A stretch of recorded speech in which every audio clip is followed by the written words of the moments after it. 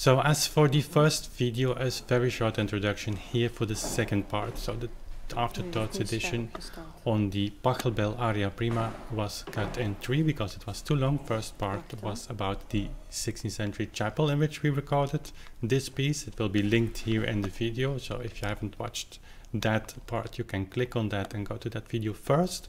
This part will be on uh, the fretted clavichord.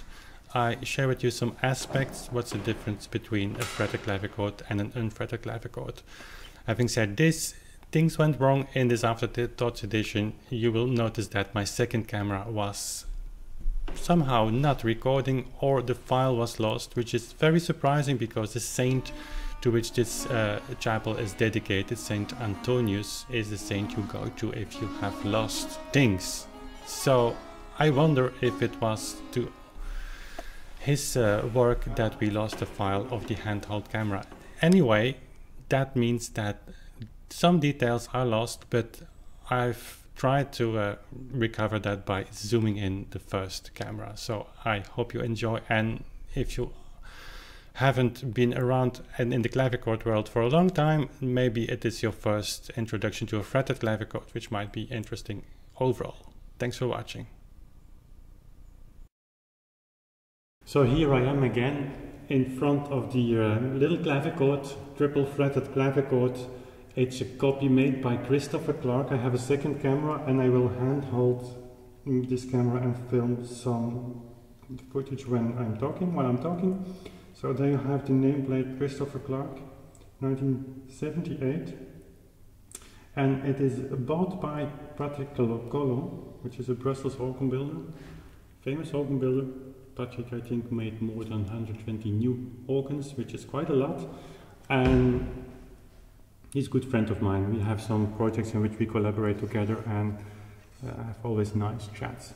So this instrument has quite some age, almost 40 years, and it's copied by an instrument that is present in the Russell collection. And I will just briefly introduce also the uh, viewers that are not so familiar with clavichords in general you know, I'm playing on an unfretted clavichord and this is a fretted clavichord. So a wonderful uh, occasion also to show to you what the differences are and what the limitations are of the fretted clavichords. And let's start with that. So a fretted instrument, and I will show you with this camera, is a clavichord that shares where a single pair of strings share multiple tangents. So here you have three tangents actually on the same pair of strings. So that means, let's see which, which tone it is, it's C sharp. If I hold C sharp, these two are silent. I can play, but you actually give the C sharp because the C sharp determines the length of the string from the tangent until the bridge. Like that.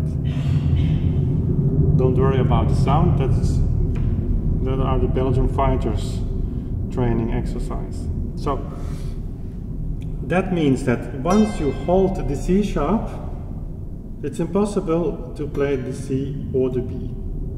So it's triple fretted. If you go up, you have the D, D sharp and E, again sharing the same pair of strings. Then you have F again.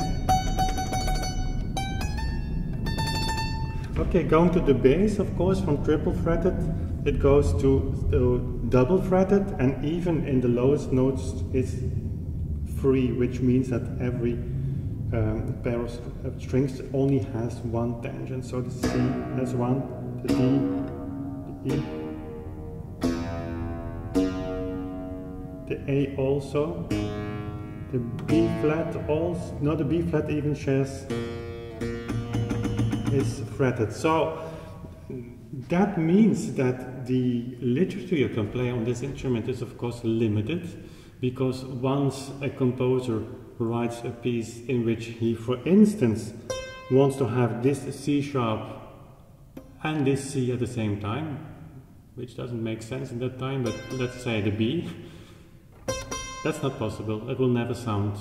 Unle unless you go from down to up. But then this will happen. So that's, that's not meant to be like that. So the literature is limit, limited to 17th century literature. You can play, of course, 18th century literature on that, uh, and this instrument was built also in this kind of instruments were built in the 18th century. You have you had mm, uh, multiple forms. Not all instruments were triple fretted. You have double fretted instruments, so the, which would increase the possibility, so to say.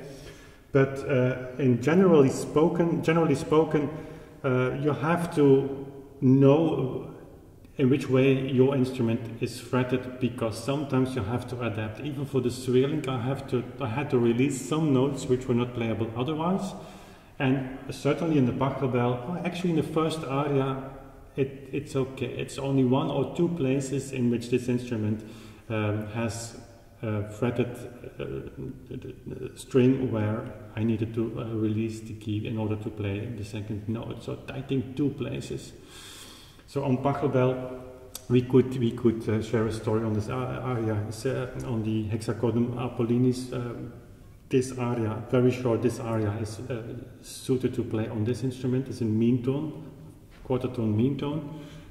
Uh, and the more you advance, the more, the more you go to the sixth uh, variation in this hexachordum set, it's getting more and more modern. So the aria Sebaldina, which we did recently, is impossible to play on this instrument, if only for temperaments. So speaking on temperament, the, the tangents are placed, and will again show you, and sometimes in a very awkward way.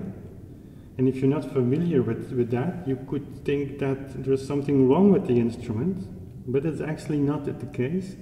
You can easily imagine if I tell you that the tangents are placed in a position that they have and as, an, an as exact position as possible to uh, create the pitch that is desired. So for instance, the B flat needs to be on that position and the A needs to be on that position of the string. So the B flat is really bending away from its, from its middle point, therefore hitting the string on the place where in that temperament, mean tone temperament here, um, gives that B flat to B flat that, that you want to have. So there is not so much possible with tuning and even um, like a fretted, unfretted instrument where every pair of strings has its own tangent, here on a fretted instrument it's sometimes a compromise uh, to just give a little bit more to one note and giving a little bit less to the other note. So finding the spot in between, so the really dry uh, spot on tuning is not always possible on an instrument like this. And I'm really talking now on this copy which is a very very nice copy. And again 1978 is remarkable. So if we continue then you see also the keys. The keyboard has a very awkward uh, shape. Keys really going that way. So that of course has all also to do with the tuning and the temperament so it's really a puzzle actually. In one way or another, the keyboard of such unfret, such fretted clavichords, that's really very difficult to make. You can imagine that this, the wood of these keys should be really, really, really good because if something happens in humidity and things start to move, then of course uh, the instrument will not function anymore. So they're not easy to make. Then the soundboard is of course much smaller than my instrument for instance and that has also to do with the fact that you have less strings which of course is obvious if you know that multiple tangents share the same string so the more tangents share the same string the less strings you have meaning that the soundboard is smaller actually giving a a different sound than the unfretted clavichord. The unfretted clavichord is, is completely other world. The fretted clavichord has a more intimate sound. Um, it's maybe a little bit more related to uh, lute music or instruments, that kind of, of, of uh, sound. Um, whereas the fretted unfretted clavichords or instruments like I'm playing actually you could say it's more concert-like instrument, really for uh, giving access to more people, uh, filling a larger room easily, more easily than instruments like this. However, having said that, here in this chapel, where I'm standing here, and I will, I will share uh, you.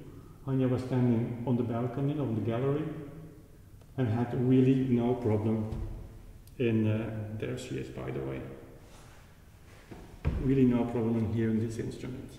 So, another typical thing, if you're not familiar with these older types of instruments, is that in the bass octave, you will not have a full octave, you have a short octave, which means that you stop at C on the place where you normally would expect D, uh, E, and the F sharp is D, the G sharp is E, then you have F, G, A, B flat is in a normal position, as is the F and the G, then you have B and then C. So,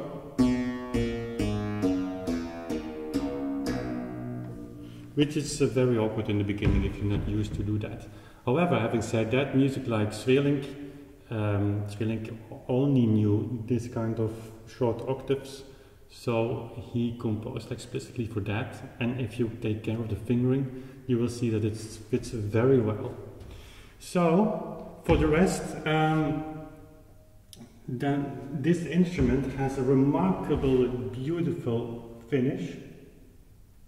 So that again the stories you sometimes hear, and actually too often hear, film, that clavichords were cheap practice instruments just to give access to uh, simple, easy practice instruments. Uh, that's not true. It, it's, it's, it's, true in the sense that it is a part of the truth. But this clavichord is not a cheap instrument, I can tell you. It's really beautiful made, beautifully made, also with the keys. So there is a lot, really, and I mean what I say, a lot to be discovered, and discovered maybe not, but put in the right in the right context. Uh, clavichords, they share one thing, have some, some one thing in common that are really underestimated today, and maybe the unfretted ones the most. But that's topic for another video. Really nice of this instrument is the somehow sweet attack in the treble. Uh, it's really direct.